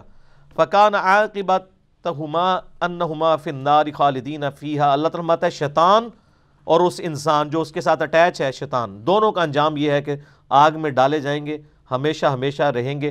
ودالی کا جزا الظالمین اور یہ بدلہ ہے ظالموں کا۔ یا ایو الذین آمنوا اتقوا اللہ۔ اے ایمان والو، اللہ کا تقوی اختیار کرو۔ ولتنظر نفس ما قدمت لغت اور ہر جان یہ دیکھے کہ اس نے آگے کے لیے کیا بھیجا ہے۔ بخاری مسلم کی حدیث ہے۔ کہ نبی صلی اللہ علیہ وآلہ وسلم نے فرمایا کہ انسان کہتا ہے میرا مال میرا مال میرا مال۔ حالانکہ تیرا مال تو وہ ہے جو تو نے کھا لیا یا تم نے پہن کے بوسیدہ کر لیا۔ یا اللہ کی راہ میں خرچ کر کے قیامت کے دن کے لیے محفوظ کر لیا۔ یہ تین ہی تیرے مال ہیں، باقی تو تیرے ورثا کے مرنے کے بعد تقسیم کر لیں گے۔ تو یہ وہی چیز ہے۔ ہر جان دیکھے کہ اس نے آگے کے لیے کیا بھیجا ہے۔ اللہ کے ڈیوائن بینک میں کون سی چیز جمع کروائی ہے؟ ظاہر مال انسان کی قیمتی چیز ہے۔ مال دینا اللہ کی راہ میں ایسا ہی ہے کہ آپ زندگی دے رہے ہیں، کیونکہ آپ نے وہ زندگی لگا کے لگا کے مال کمایا ہوا ہے۔ جب آپ جیب ڈھیلی کرتے ہیں، پھر آپ کو قدر بھی ہوتی ہے۔ ہم یعنی لوگوں کو بعض کا بیچارے ڈیزرونگ ہوتے ہیں نا، ان کو تو ہم چلیں مشکات وغیرہ گفٹ کر دیتے ہیں، لیکن جو بندہ خرید سکتا ہے، اس کو نہیں کرتے۔ کہ یار پیسے خرچو تو تمہیں قدر بھی ہوگی۔ تو ہر جان دیکھے اس نے آگے کے لیے کیا بھیجا ہے؟ وہ تق اللہ اللہ کا تقوی اختیار کرو ان اللہ خبیر بما تعملون۔ بے شک اللہ تعالیٰ خوب آگاہ ہے جو کچھ تم عمال کر رہے ہو۔ ولا تکون کلدین نس اللہ دیکھنا، ان لوگوں کی ماند نہ ہونا جنہوں نے اللہ کو بھلا دیا۔ فَأَنسَاهُمْ أَنفُسَهُمْ۔ تو اللہ نے ان کو اپنی جانوں سے بھلا دیا۔ یہ بہت مشکل فلسفہ اس کے اندر بیان ہوا ہے۔ اور یعنی انسان کوئی بھی اپنے آپ سے غافل تو نہیں ہوتا۔ اللہ تعالیٰ ماتا ہے کہ ان لوگوں کے ماند نہ ہونا، جو اللہ کو بھول گئے تو اللہ نے ان کو اپنی جان سے غافل کر دیا۔ اب جو لوگ اللہ کو بھولے ہوئے ہیں، ہمیں تو نظر نہیں آتے کہ اپنی جان سے غافل ہیں۔ سب سے زیادہ وہی جان کی فکر کر رہے ہیں۔ جتنے لوگ اللہ سے غافل ہیں، اپنے کیا لباس کا اہتمام نہیں کرتے، کھانے پینے کا اہتمام نہیں کرتے، دنیا کے ہر اسائش کے لیے کوشش نہیں کرتے، تو اپنی جان سے غافل کہاں ہے وہ؟ اپنی جان کے لیے ہر اسائش کی تلاش میں ہے وہ لوگ۔ لیکن اللہ کے حضور وہ اپنی جان سے غافل ہوئے ہیں، اس لیے کہ اصل کامیابی آخرت کی ہے۔ میں کہتا ہوں کہ اگر کسی شخص کی ایک ارب سال زندگی ہو اور دوسرے کی ایک ارب سال اور ایک دن، تو کیا دونوں میں کوئی فرق ہے؟ ایک جتنا ایک دن، ایک ارب میں تو نکلی سی بلا۔ لیکن وہ شخص ایک دن دے کے ایک ارب سال کی زندگی کما لے اور دوسرا شخص ایک دن کی یاشی سے ایک ارب سال کی زندگی برباد کر بیٹھے، تو پھر اصل نقصان کون سا ہوا؟ تو یہ ہے کہ دیکھنا ان لوگوں کی مانند نہ ہونا کہ جنہوں نے اللہ کو بھلا دیا تو اللہ نے ان کو اپنی جانوں سے غافل کر دیا۔ اللہ کی مور ان کے اوپر لگ گئی کہ اللہ سے غافل ہو گئے۔ ہمیشہ کی ناکامیاں ان کا مقدر ہوگی۔ اولائکہم الفاسقون۔ اصل میں فاسق لوگ یہ ہیں۔ اسی آیت کے بارے میں ڈاکٹر سرار صاحب نے بیان کیا تھا۔ سید نذیر نیازی جو ہیں وہ ڈاکٹر اقبال کے سٹوڈنٹ تھے۔ قرآن کانفرنس کروائی ڈاکٹر اسرار صاحب نے۔ اس میں انہوں نے ان کو مہمان خصوصی کے طور پہ بلایا اور اس میں انہوں نے خطاب کیا اور انہوں نے اپنا ایک واقعہ سنایا کہ میں نے ڈاکٹر اقبال سے پوچھا، یہ آپ نے جو خودی کا کانسیپٹ لیا ہے، یہ کس سے لیا ہے؟ تو انہوں نے کہا، کل آنا تو میں تمہیں بتاؤں گا۔ کہتے ہیں، میں کاغذ پینسل لے کے پہنچ گیا کہ جی جو ہے وہ شاعر مشرق، اتنی بڑی پرسنالٹی مجھے بتائیں گے، راز ان کے خودی کے فلسفے کا۔ وہ ہر چیز خودی کے اوپر لے کے جاتے ہیں نا کہ آپ اپنے سیلف کریکٹر کو بلڈ کرو۔ خودی کو کر بلند اتنا کہ ہر تقدیر سے پہلے خدا بندے سے خود پوچھے، بتا تیری رضا کی۔ فزیکلی ہوگا نہیں، لیکن وہ یہ بتانا چاہ رہے ہیں کہ آپ کے اندر اللہ نے جو روح رکھی ہے نا، اس کو یوٹیلائز کریں۔ اس کے اندر بڑی طاقت ہے۔ اللہ تبارک و تعالیٰ آپ کی دعاؤں پہ فیصلے کرے گا۔ صحابہ کرام کی دعاؤں پہ فیصلے ہوئے ہیں نا جناب۔ جنگ قادسیہ کے اندر ایک ایسا موقع آ گیا تھا کہ ایک قلعہ فتح نہیں ہو رہا تھا پرشین امپائر کا۔ مسلمانوں نے بڑی کوشش کر لی۔ حضرت انس ابن مالک کے بھائی تھے ایک۔ یہ وہی بھائی تھے جن کے بارے میں نبی اسلام فرمایا تھا کہ بعض اللہ کے بندے ایسے ہیں کہ اللہ پہ قسم کھا لینا، اللہ ان کی قسم پوری کرتا ہے۔ وہ یہی تھے نا۔ ان کے کسی، ان کی بیوی نے کسی کو مکہ مارا، اس کے دانت ٹوٹ گئے۔ وہ عورت شکایت لے کے آئی تو قرآن میں کیا ہے؟ سورہ المائدہ کے اندر دانت کے بدلے دانت، کان کے بدلے کان، ناک کے بدلے ناک۔ تو اس نے کہا، میں تو بدلہ لوں گی، جتنے دانت میرے ٹوٹے ہیں، اس کے۔ تو یہ سیابی حضور صلی اللہ علیہ وسلم کے پاس آئے۔ حضور نے فرمایا کہ تیری بیوی کے تو اب دانت توڑنے پڑیں گے کہ ساسن تو ان کی زبان سے لکھا، اللہ کی قسم میری بیوی کے دانت نہیں ٹوٹیں گے۔ اچھا یہ بات کی تو تھوڑی دیر بعد وہ عورت آئی، اس نے کہا کہ میں نے معاف کیا اس کو۔ تو آپ فرمایا اللہ کے بعض بندے ایسے ہیں کہ کسی معاملے میں قسم اٹھا دیں نا انجانے میں بھی۔ اللہ ان کی بات پوری کر دیتا ہے۔ ان کو بھی نہیں پتا تھا۔ یہ جو کہتے ہیں ہمارے بزرگ بزرگ وہ آدھی روایت سناتے ہیں، یہ پوری روایت اس طرح ان کے بارے میں حدیث تھی تو صحابہ نے تستر وہ جگہ تھی پرشین امپائر میں۔ آج بھی ہے ایران کے اندر، تستر شہر ہے۔ تو صحابہ نے آ کے ریکویسٹ کی، اس سن قبرال بئی حقی کے اندر بھی آپ کو مل جائے گا۔ اور دلائل النبوہ امام بئی کی کتاب کے اندر بھی مل جائے گا۔ یہ صحیح سند کے ساتھ۔ یہ وہ کرامتیں نہیں ہیں جو آپ کے بزرگ سنا رہے ہوتے ہیں، یہ صحیح سند والی کرامتیں۔ ہیں تو صحابہ نے ان کو آ کے ریکویسٹ کی کہ حضرت آپ کے بارے میں یہ ہے۔ تو آپ اللہ پہ قسم کھائیں نا۔ ٹھیک ہے نا۔ تو اب ظاہر ہے کہ ایک وہ پہلے تو حادثاتی معاملہ بہت تھا نا، اب تو یہ تو کنفرم نہیں ہے۔ لیکن وہ یہ چاہتے تھے کہ اگر اس قسم کے بعد واقعی مسلمانوں کو فتح ہوتی ہے نا، تو اس کے بعد پھر مجھے زندہ رہنے کا جواز نہیں ہے۔ وہ تو پھر ظاہر لوگ چوما چٹی شروع کر دیں گے۔ تو انہوں نے کہا کہ میں اللہ کی قسم اٹھاتا ہوں کہ ہمیں فتح ملے گی اور اللہ کی قسم میں اللہ کی راہ میں شہید بھی ہوں گا۔ اپنی شہادت بھی ادھر ہی مانگ لی۔ بس قسم کھانی تھی تو اللہ تعالیٰ نے فتح دے دی مسلمانوں کو۔ وہ قلعہ جو اتنے دنوں سے فتح نہیں ہوتا فوراً فتح ہوا اور اس میں یہ شہید بھی ہو گئے۔ اور ان کو جس کمانڈر نے شہید کیا تھا نا پرشین امپائر کا۔ اس کو مسلمانوں نے گرفتار کر لیا۔ گرفتار کر کے یہ والا سین جو ہے، عمر سیریز میں بھی انہوں نے فلمایا۔ حضرت عمر کے سامنے لا کے پیش کیا کہ انس ابن مالک کے بھائی کا یہ قاتل ہے۔ اور سر، انس ابن مالک بھی وہیں بیٹھے ہوئے ہائے ہائے ہائے ہائے تو حضرت عمر نے کہا، ٹانگو اس کو، قتل کرو، قتل کے بدلے قتل۔ تو کانپنا شروع ہو گیا۔ تو اس نے کہا کہ اے مسلمانوں کے خلیفہ مجھے پانی مل سکتا ہے۔ تو ان کا ہاں پانی مل جائے گا۔ موت کے وقت تو خواہش پوری کی جائے گی، وہ پانی کا پیالہ لایا گیا نا تب وہ کانپنا شروع ہو گیا۔ تو حضرت میں نے کہا، پیتا کیوں نہیں ہے؟ انہوں نے کہا کہ آپ مجھے پھر گارنٹی دیں کہ جب تک یہ میں پانی نہیں پیوں گا نا، اس وقت تک مجھے گارنٹی ہے کہ آپ مجھے قتل نہیں کروائیں گے۔ انہوں نے کہا ہاں میں گارنٹی اٹھاتا ہوں۔ کہ جب تک یہ تو پانی نہیں نہ پیتا، تجھے قتل نہیں کروایا جائے گا۔ اس نے وہ پیانہ وہی پہ الٹ دیا۔ تو وہی حضرت عمر نے کہا، یہ کیا کیا تو نے؟ تو انہوں نے کہا، میں نے پانی تو پینا ہی نہیں تھا۔ آپ نے اتنے لوگوں کے سامنے یہ بات کی ہے کہ یہ پانی پیوں گا تو یہ پانی تو گر گیا اب۔ تو مجھے قتل نہیں کروا سکتے۔ تو انہوں نے کہا، تم نے میرے ساتھ دھوکہ کیا ہے۔ اس کو پکڑ کے جو ہے وہ قتل کرو۔ حضرت انس ابن مالک وہاں کھڑا ان کا امیر المؤمنین اس طرح نہیں۔ آپ نے وعدہ کیا ہے۔ بھائی کا قاتل ہے۔ لیکن اسلام کی جو سچائی آپ دیکھیں، ان کا امیر المؤمنین یہ آپ نہیں قتل کر سکتے۔ آپ نے اس کو زبان دی ہوئی ہے۔ تو میں نے معاف کیا۔ انہوں نے معاف کیا، اس نے کلمہ پڑھ کے مسلمان ہو گیا۔ اور وہ کمانڈ یعنی رستم پہلوان کے جو ساتھ دو تین کمانڈر بچے تھے، رستم تو خود مارا گیا تھا نا کاتسیا میں۔ ان میں سے ایک یہ تھا۔ اور اس نے اسلام قبول کر لیا۔ اس نے کہا، یار، یہ انصاف کا نظام ہے۔ کوئی سوچ بھی نہیں سکتا۔ تو یہ یعنی یہ خودی ہونی چاہیے۔ تو آپ دیکھ لیں جن میں خودی تھی، تو اللہ تعالیٰ نے پھر ان کے ساتھ کیا کیا؟ ان کو کیا کیا عروج دیا۔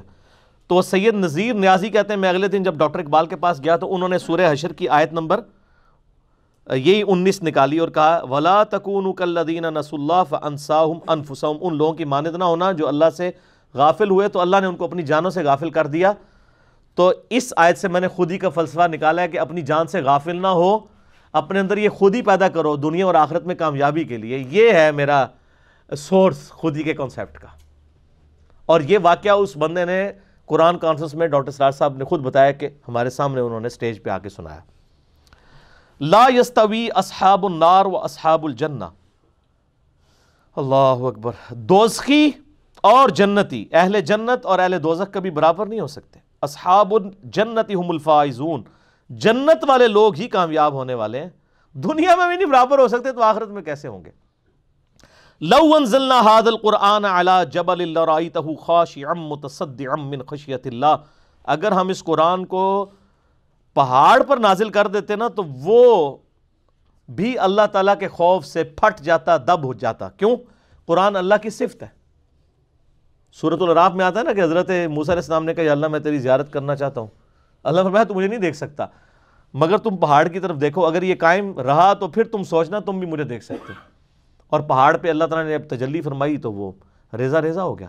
اور حضرت موسیٰ علیہ السلام بالواسطہ مشاہدے سے بے ہوش ہو گئے۔ تو وہی تاثیر قرآن کی بھی ہے، کیونکہ قرآن اللہ کی مخلوق نہیں، اللہ کی صفت ہے۔ مسئلہ نمبر 126 اللہ کا دیدار۔ اس کے حوالے سے میں نے ساری آیات کور کی ہیں، دنیا، آخرت کے پوائنٹ آف ویو سے میں آج اس کو سکپ کرتا ہوں۔ جسے شوق ہو تو وہ دیکھے۔ وہ تلکل امثال نضربوها اور یہ مثالیں تو ہم بیان کرتے ہیں للناس لوگوں کے لیے، لعلہم یتفکرون، تاکہ وہ تفکر کریں۔ ورنہ اللہ کی نہ صفات کی مثال دی جا سکتی ہے نہ اللہ تعالیٰ کی قدرتوں کی، یہ صرف سمجھانے کے لیے بتایا جاتا ہے کہ اگر یہ قرآن نازل ہوتا ہے کسی پہاڑ پر، تو وہ بھی ریزہ ریزہ ہو جاتا۔ اور اس میں اب نبی الاسلام کی کیا شان پوشیدہ ہے کہ نبی الاسلام کے سینے پہ یہ قرآن نازل ہوا ہے، اور تیئیس سال تک نازل ہوتا رہا ٹھیک ہے اللہ اکبر اللہ صلی علی محمد علی محمد اب آخری تین آیات صورت الحشر کی مشہور ترین آیات ہیں۔ ان کے بارے میں کچھ ضعیف روایتیں بھی ہیں۔ سنبی دو ترمزی کے اندر موجود ہے جو صبح و شام تین تین دفعہ پڑھ لے۔ اعوذ باللہ السبیر علیم من الشیطان الرجیم۔ بسم اللہ الرحمن الرحیم۔ اور ان آیات کو ستر ہزار فرشتے مغفرت کی دعا کرتے ہیں۔ یہ روایت کمزور ہے، لیکن اگر کوئی وظیفہ یہ کرتا ہے، وہ کرتا رہے۔ قرآن کا ثواب تو اسے ملے گا۔ قرآن حکیم میں اس سے بڑا اللہ تعالیٰ کے اسماء کا کوئی گلدستہ نہیں ہے۔ سولہ اسماء مبارک ان تین آیات کے اندر اللہ تبارک و تعالیٰ کے آئے ہیں۔ واللہ الذی لا الہ الا ہو، وہی اللہ ہے کہ جس کے سوا کوئی عبادت کے لائق نہیں۔ عالم الغیب والشہادہ، وہ غیب کا بھی جاننے والا ہے، چھپی بھی چیزوں کا بھی اور سامنے والی چیزوں کا بھی۔ هو الرحمن الرحیم اس کی رحمت ٹھاٹھے مارتے ہوئے سمندر کی طرح ہے اور اس میں دوام بھی ہے۔ واللہ الذی لا الہ الا وہی اللہ ہے جس کے سوا کوئی معبود نہیں ہے۔ المالک القدوس، وہی بادشاہ ہے اور نہایت مقدس۔ السلام، سلامتی رکھنے والا۔ المؤمن، امان دینے والا۔ المحیمن نگبان العزیز، غالب۔ الجبار۔ الجبار المتکبر۔ دباؤ اور روب رکھنے والا اور متکبر بھی۔ ظاہر پوری مخلوق پہ اس کا روب ہے۔ سبحان اللہ عما یشرکون۔ اللہ پاک ہے، ہر اس چیز کے شرک سے جو اس کے ساتھ لوگ منسوب کرتے ہیں۔ اللہ کو فرق نہیں پڑتا۔ والخالق الباری وہی پیدا کرنے والا ہے۔ اور الخالق یعنی تخلیق کرنے والا ہے اور باری بھی ہے۔ کریشن ایکس نہیلو کرنے والا بھی ہے۔ عدم ماز سے وجود بخشنے والا بھی ہے۔ المصور۔ صورت بنانے والا ہے۔ لہ الاسماء الحسنہ اسی کے لیے ہیں سب اچھے نا۔ یسبح له ما فی السماوات والارض۔ زمین و آسمان میں ہر چیز اسی کی تسبیح بیان کرتی ہے۔ وہ العزیز الحکیم۔ اور وہی غالب ہے، حکمت والا ہے۔ یہ جو اللہ تعالیٰ کے اسماعین العزیز الحکیم، اسی سے یہ صورت آغاز بھی ہوئی تھی، جس میں میں نے ڈیٹیل سے بتایا تھا کہ یہ اللہ ہی کی کوالٹیز ہو سکتی ہیں کہ غالب بھی ہے اور حکمت ایسی ہے کہ وہ اپنے دشمنوں سے بدلہ ہی نہیں لیتا ڈیل دیتا ہے۔ دنیا میں کوئی غالب ہو، چھوڑے نا اپنے دشمنوں کو، لیکن ڈھیل دیتا ہے۔ یہ سولہ نام ہے۔ بخاری مسلم حدیث ہے کہ اللہ کے ایک کم سو نام ہے نائنٹی نائن، اور جو ان ناموں کو لے لے گا لینے سے مراد یہ نہیں کہ زبانی یاد کرنا، ان کے ساتھ یعنی ایک انسان کی محبت، پھر ان اسما کے ذریعے اللہ کے حضور وسیلہ پیش کرنا تو وہ جنت میں جائے گا۔ اب یہ نائنٹی نائن نام ایک وہ ہیں جو آپ کے یہ تاج کمبری کے قرآن میں چھپے ہوئے ہوتے ہیں۔ ان میں سے کئی ایک نام اللہ تعالیٰ کے ثابت ہی نہیں ہے یعنی وہ وہ صفات تو ہیں اللہ کی، لیکن وہ نام نہیں ہے ہر صفت اللہ کا نام بھی نہیں ہوتی۔ اللہ انتقام لینے والا ہے، لیکن اللہ کا نام المنتقم نہیں آپ رکھ سکتے۔ برائی کو کس نے پیدا کیا؟ ہے اللہ نے۔ اچھائی بھی اللہ نے پیدا کی ہے، لیکن آپ اس کو برائی کا خالق نہیں کہتے۔ برائی کے گیسٹ ان سے جو ہے وہ مدد ضرور مانگتے ہیں۔ من شر ما خلق۔ اللہ، میں ہر اس چیز کی برائی سے تیری پناہ میں آتا ہوں جو تو نے پیدا کی۔ یہ تو آپ کہتے ہیں۔ وہ صفت کا اظہار کرتے ہیں، لیکن آپ اللہ کو برائی کا خالق نہیں کہتے۔ اے برائی کے خالق، میں تیری پناہ میں آتا ہوں۔ نہیں۔ اے اللہ، میں تیری پناہ میں آتا ہوں۔ ہر اس چیز کی برائی سے جس کو تو نے پیدا کیا۔ تو اللہ کی جو صفات ہیں، ضروری نہیں ان کے گیسٹ نام ڈیوائز کیے جائیں۔ ہاں جو اللہ کے نام ہیں، ان کے گیسٹ آپ جو ہے، وہ صفات کر سکتے ہیں۔ ان کو آپ بے شک ڈیوائز کریں۔ اور اسماء و صفات کے والے سے یہ بھی یاد رکھیے گا، جس طرح یہ حدیث نے ایک بڑا فتنہ کھڑا کیا کہ وہ کہتے ہیں بھی جو قرآن و حدیث میں نام آئے، ان کے علاوہ اللہ تعالیٰ کو نام سے پکارنا وہ توحید کی وائلیشن ہے، اللہ کو خدا نہیں کہہ سکتے، بھگوان نہیں کہہ سکتے، گاڈ نہیں کہہ سکتے۔ اس کے اوپر ڈاکٹر ذاکر نائک نے بھی پھر گرفت کی تھی۔ میرا بھی ایک کلپ ہے ڈاکٹر ذاکر نائک کے دفاع کے اوپر۔ جواب دیا تھا میں نے علماء حدیث کو بھی کہ یہ آپ اسماء و صفات کا مسئلہ نہ بنایا کریں۔ اللہ تعالیٰ ہمارا ہے ولہ الاسماء الحسنہ اس کے لیے اچھے نام ہیں۔ ہر وہ اچھا نام جو عربی کے اندر موجود ہے، اس کی اگر ٹرانسلیشن کسی اور زبان میں کر لیتے ہیں آپ، ٹھیک ہے؟ تو ٹھیک ہے۔ اب رب ہے، اس کا آپ عربی میں تو کہتے ہیں پالنے والا، انگلش میں کیا کہیں گے؟ سسٹینر۔ اور اسی کو وشنو کہہ دیتے ہیں آپ سنسکرت کے اندر۔ لیکن وہ اس کی تمثیل نہ بیان کی جائے، لیکن ٹرانسلیشن تو ہو سکتی ہے۔ شاہ ولی اللہ دلوی نے جو ترجمہ قرآن کا کیا نا، انہوں نے اللہ کا ترجمہ خدا کیا ہوا ہے۔ لیکن جب اہل حدیث نے چھاپا، وہ خدا ختم کر کے اللہ ڈال دیا۔ سب سے بیسٹ ترجمہ مولانا مدودی نے کیا ہے۔ انہوں نے لا الہ الا اللہ کا ترجمہ کیا، اللہ کے سوا کوئی خدا نہیں۔ الہ کا ترجمہ انہوں نے خدا کیا ہے، معبود۔ اب جو انگلش میں کیپٹل جی سے گاڈ لکھا جاتا ہے، وہ آپ گورے سے بھی پوچھیں، جو کیپٹل جی والا گاڈ ہے، وہ کہے وہ ایک ہی ہے۔ چھوٹے جی والے وہ ان کے یونانیوں کے چھوٹے چھوٹے گاڈز ہوتے تھے نا، دیوتا۔ کیپٹل جی والا ایک۔ آپ ہندوؤں سے پوچھ لیں، بھگوان وہ کہے گا، وہ ایک ہی ہے۔ چھوٹے دیوتا ہیں، لیکن بھگوان ایک ہی ہے۔ تو وہ نام جو آپ یعنی ایکسکلوسیولی کسی ایک ہی شخصیت کو دیتے ہیں، سب سے سپرلیٹو نام۔ فارسی میں خدا کہہ لیتے ہیں، انگلش میں گاڈ۔ تو وہ نام اللہ تعالیٰ کے لیے آپ کہہ سکتے ہیں۔ وہ ظاہر ہے وہ انہی کے ترجمے۔ اب جب آپ نے کسی گورے کو سمجھانا ہے تو اس کو اسلام تو صرف عربی تو نہیں کہ عربیوں کے لیے نازل ہوا ہے، باقیوں کے لیے بھی ہوا ہے، تو اس کو ضد نہیں بنانی چاہیے۔ باقی شیخ زبیلی زئی رحمہ اللہ نے ایک کتاب لکھی ہے، ninety nine names of Allah کے اوپر ان کا ایک یعنی ایک ریسرچ پیپر بھی چھپا ہوا ہے۔ ہماری ویب سائٹ اہل سنت پاک ڈاٹ کام میں بکس والے پورشن میں آپ کو مل جائے گا کہ انہوں نے جتنے نام اللہ تعالیٰ کے قرآن سے یا سعی الاسناد احادیث سے ثابت تھے، وہ سارے جمع کر کے وہ نائنٹی نائن کی گنتی پوری کی ہے۔ اور نائنٹی نائن کا قطن یہ مطلب نہیں ہے کہ یہ صرف نائنٹی نائن ہی نام ہے اللہ کے۔ ایک مطلب عربی میں کثرت کے لیے بھی نائنٹی نائن استعمال ہوتا ہے۔ وہ تو صورت القحف کے اندر سورہ لکمان میں نہیں آیا کہ اگر زمین پر جتنے درخت ہیں وہ کلمے بن جائیں اور سمندر سیاہی بن جائیں اور سات سمندر اور سیاہی بھی مل جائے تو اللہ کے کلمات ختم نہیں ہوں گے۔ تو اللہ تعالیٰ کے کلمات، اللہ کے نام، اس کے اسما وہ ختم نہ ختم ہونے والے۔ ٹھیک ہو گیا؟ تو اس حوالے سے میں نے یہ یعنی کلیئر کر دیا۔ انشاءاللہ صورت الممتحنہ اگلی دفعہ شروع کریں گے۔ آج تو میرا دل تھا کہ وہ بھی مکمل کریں، لیکن وہ ظاہر ہے کہ ایک شرح صدر اللہ کی طرف سے ہوتا ہے جب تو وہ پھر میں نے چونکہ اب رٹی رٹائی تو گفتگو نہیں کرنی ہوتی۔ اللہ تعالیٰ سے دعا ہے، جو حق بات کہی میں نے، اللہ تعالیٰ ہمارے دلوں میں راسک فرمائے۔ اگر جذبات میں میرے منہ سے کوئی غلط بات نکل گئی تو اللہ تعالیٰ ہمارے دلوں سے معاف کر دے۔ ہمیں کتاب و سنت کی تعلیمات پر عمل کر کے دوسرے بھائیوں تک پہنچانے کی توفیق عطا فرمائے۔ اللہم صلی علی محمد وعلی علی محمد، کما صلیت علی ابراہیم وعلی علی ابراہیم انک حمید مجید۔ اللہم بارک علی محمد وعلی علی محمد، کما بارکت علی ابراہیم وعلی علی ابراہیم انک حمید مجید۔ سبحانک اللہم وبحمدک اشہد واللہ الہ الا انت، استغفرک و اتوب الیک۔ وما علينا إلا البلاغ المبين. جزاكم الله خيرا.